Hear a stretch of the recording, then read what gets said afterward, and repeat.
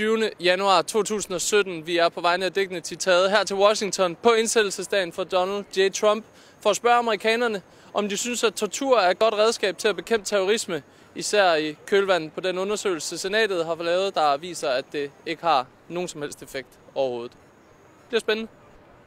Big day today, new president coming in. How do you guys feel about that? We're excited. We're excited. I'm looking forward to those changes.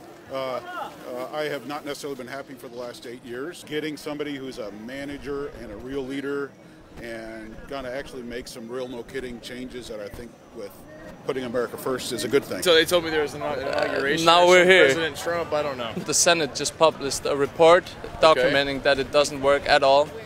Um, Wow. That's, did you know uh, that? No, I didn't know that. But this guy want to bring it back. He's been very vocal about that. How about censorship? Does that help stop terrorism? I know they do that in uh, in your country. As long as it's, it's effective, I think it's okay. I think it's a big debate as to whether it's actually effective or not.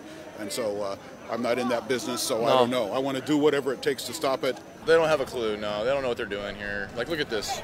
For example, I mean, Nasty these women. people. Uh, what are they doing? They're they're being fucking stupid Americans. Excuse me. Excuse me. Excuse me. People here are too preoccupied with uh, themselves to to give a fuck about uh, you know Facts. the, yeah the effects of you know they're they're not terrorists so No, no. they're never going to think about the you know torture being You never being know. used to- right you, right right yeah you never know You know, you, you brought up torture. I don't really have an opinion really strongly either way on torture, but I do have a very strong opinion on immigration. Yeah. And this guy has made immigration front and center since day one. I think torture should not shouldn't be used really in any, in any facet. There's there's probably a better way than torture in every scenario I could possibly imagine. So Så er det officielt, USA har fået ny præsident i takt med, at optøjer, demonstrationer og fest mødes i skønforeningen her i Washington D.C., så kan vi her i Dignity i hvert fald konstatere, at fakta er langt fra er allemands eje,